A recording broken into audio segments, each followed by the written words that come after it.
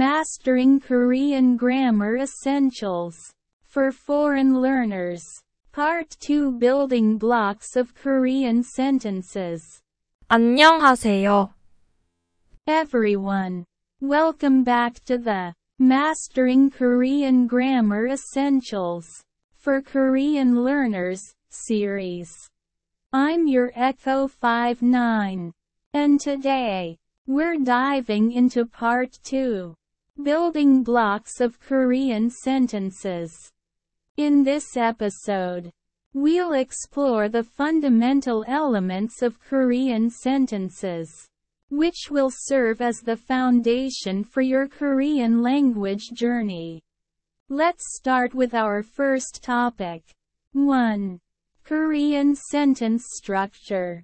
Korean sentences often follow the subject object, verb, SOV, word order. Korean sentence structure often follows the subject-object-verb SOV order. This means that the subject comes first, followed by the object, and finally the verb. For example, English, I eat kimchi.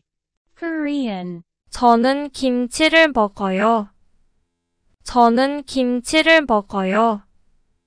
Notice how 저는 means I 김치를 means 김치 and 먹어요. means eat. This word order may be different from what you're used to. But don't worry. You'll get the hang of it with practice. 2. Noun markers. 은는 이가 을을 Noun markers are crucial in Korean to indicate the subject and object of a sentence. 은는 Are used to mark the topic or subject of the sentence. 이가 Mark the subject of a sentence. 을을 Mark the subject of a sentence. For example, I eat kimchi. 저는 김치를 먹어요. The cat eats fish. 고양이가 생선을 먹어요.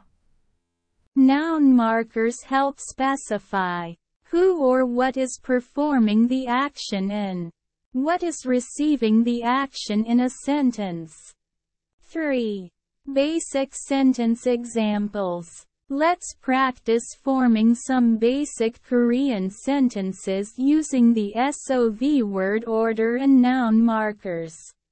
I drink coffee. 저는 커피를 마셔요. She reads books.